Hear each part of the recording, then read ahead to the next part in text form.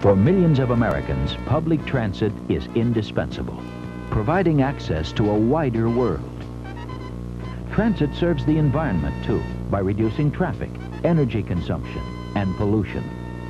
And by helping people get to work, to shops, to services, it contributes to the economic vitality of America's communities. But in too many communities, maintaining public transit has become more and more difficult. And transit news has too often been bad news.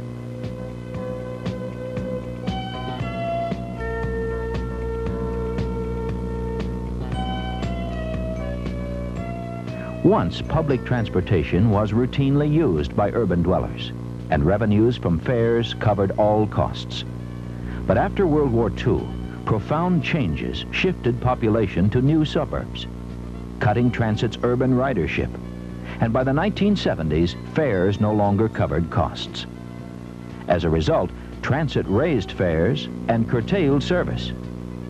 This was bad news for the millions of Americans who still depended on transit, and it triggered an historic public policy response. In locality after locality, officials created public transit agencies to maintain and improve vital services. And they kept fares affordable by supplementing them with subsidies from taxes. Adding tax subsidies changed transit arithmetic significantly. It preserved transit but at a cost that was to prove staggering. For buried in this funding formula was a fiscal time bomb waiting to explode. During the 1970s, transit's costs soared, twice as fast as inflation. Soon, fares covered only 40% of costs. That meant tax subsidies had to rise. They did, a staggering 1,600%. Transit costs were skidding out of control. At the same time, new service needs were emerging for elderly and handicapped persons and for persons traveling within suburbs. But conventional transit could not respond. Here are news highlights at noon. The Municipal Transit Authority Board will vote today on major service cuts. More than 15 bus lines will be abandoned or curtailed in an effort to save the city $3.7 million. Once again, transit news was bad news, and the bad news was made worse by a larger crisis. Around the country, demand for government services was increasing, at the same time that the tax base that supported these services was being eroded. Swollen transit budgets were competing with other services for scarce tax dollars, and local officials were facing painful choices. Raise taxes, raise fares, cut service, defer or cancel badly needed capital improvements. Once again, transit had become the victim of change. If service was to be preserved, transit would have to change too. And once again, a crisis triggered an historic response. It began with some beleaguered local officials asking a simple question. How can we provide service most efficiently and economically for the people who are depending on us? The answer they came up with wasn't very original. Certain other public services used it too, but applying it to public transit was new. How could service be best provided? By going out to the marketplace and buying it. Through competitive contracting from private firms at a cost below that of direct public service. This strategy takes advantage of competition's inherent cost control incentives where public transit authorities have operated without competitive incentives, costs have skyrocketed. Even where tax subsidies have not risen, costs have, inevitably forcing fare increases and service reductions. The losers have been the riders and the taxpayers. Recent studies are producing overwhelming evidence that opening up public transit service to competitive contracting can cut costs tremendously. Savings reported by agencies already using this arrangement typically range from about 20% to almost 60%. And such savings are in line with those obtained from competitive contracting of other public services like trash collection, where contracting has been practiced for many years. An important effect noticed in those cases is that when a public agency continues to provide some of the service, then the competition from the private sector spurs that agency on to cut waste and reduce costs too. So there's a double return from competitive contracting. It's important to recognize that competitive contracting is not normally undertaken for partisan political or ideological reasons. It's found in large metropolitan areas and small ones, in rural areas, in areas of all political orientations. Not only are cost savings substantial, savings on contracted routes can help support service on directly operated routes too. Here's how contracting works. The most important feature of contracting is something that doesn't change at all. Public agencies retain full control. They decide which services to contract out and which to operate directly themselves. Because competition keeps contracted costs substantially below direct operating costs, agencies generally contract out their costliest routes, Suburban, Peak Period Express, and Dial-A-Ride. That's because routes they're losing the most money on promise the greatest savings. Public agencies contract for a fee that is competitively determined. They specify the length of the contract, conditions under which it may be revised, fares, routes, schedules, transfers, and standards of service. So that vehicles operated under contract will look the same as directly operated vehicles, agencies may also specify how vehicles should be painted. Private vendors can provide capital equipment, or public agencies can obtain federal funds for capital costs and then lease equipment to vendors. Contracting creates new employment opportunities with private firms, and transit agencies can phase in contracting within their own employee attrition rates.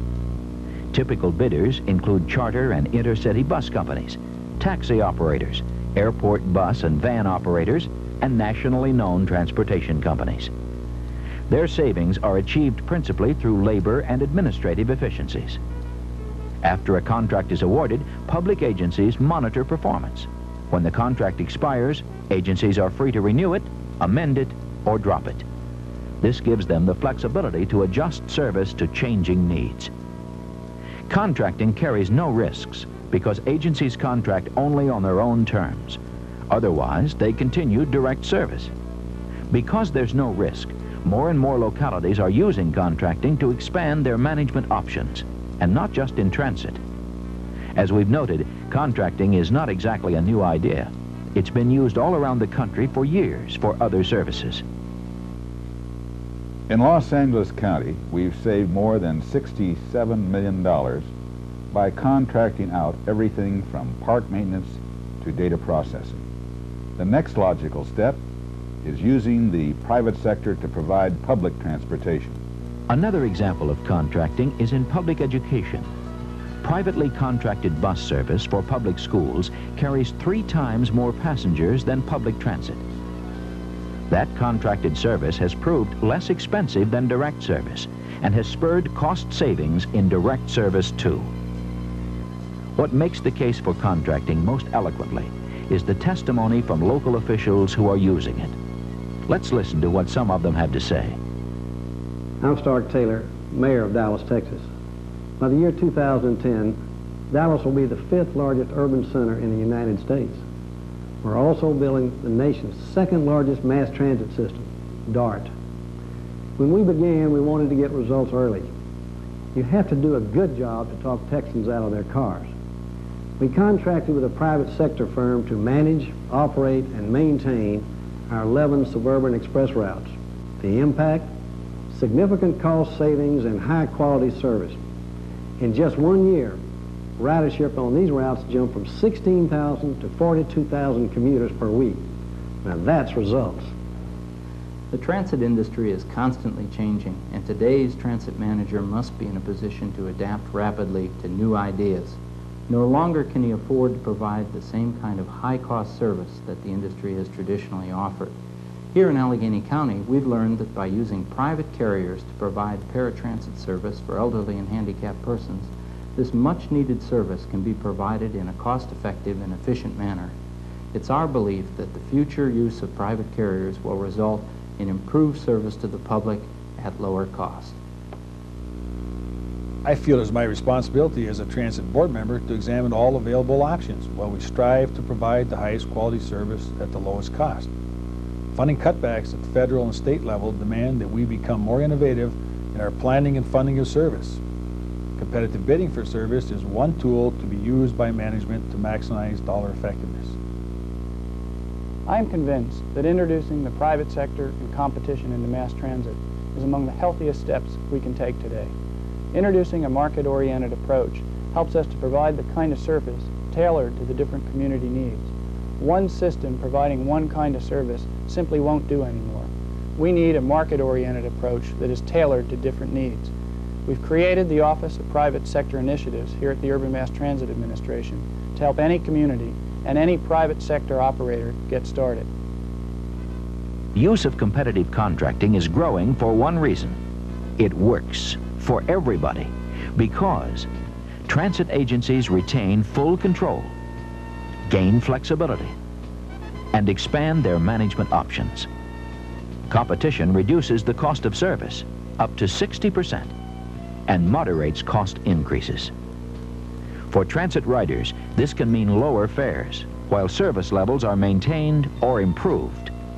And for taxpayers, it means more mileage from tax dollars. With competitive contracting, transit becomes affordable for all, for both the riders and the taxpayers. That makes transit news good news. And the good news is that through contracting, public agencies can harness the power of competition to keep vital transit services rolling, meet changing needs, serve environmental goals, and contribute to the economic and social vitality of our nation's communities. But the power to instill competition in the provision of transit and other public services ultimately rests with responsible local public officials. For more information about how competitive contracting can serve your community, contact the American Bus Association, the International Taxicab Association, or the Department of Transportation's Office of Private Sector Initiatives. We'll be glad to help.